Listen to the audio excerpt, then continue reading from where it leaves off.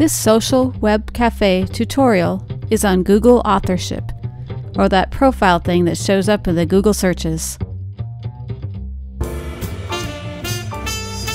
When I search for one of my articles in Google, I see my profile pic staring back at me.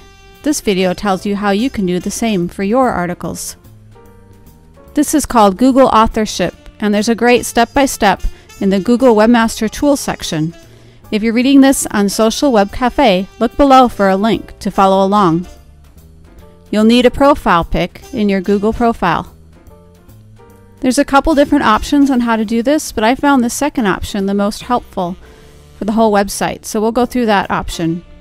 And you'll see this step by step, and the first thing you need to look at is that link that we're going to add to our website. And you can add it anywhere, but I find it helpful to add in the header, and I use the thesis theme, so I've got a little box that I can add it to.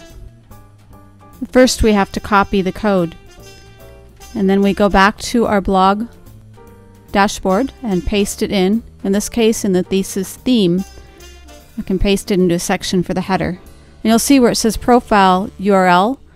We'll replace that with our profile URL from Google. And when you paste that in, be sure to remove anything after the number. In this case, I have the about part. We want to remove that. And save your settings. Now let's return to our directions and we need to add to the contributor to section. It's like a handshake. It's connecting Google to your website.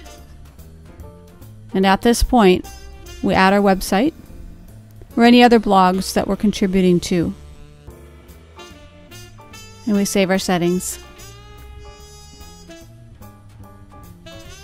Now it won't happen instantly, but pretty soon you'll be spotlighted on the Google search.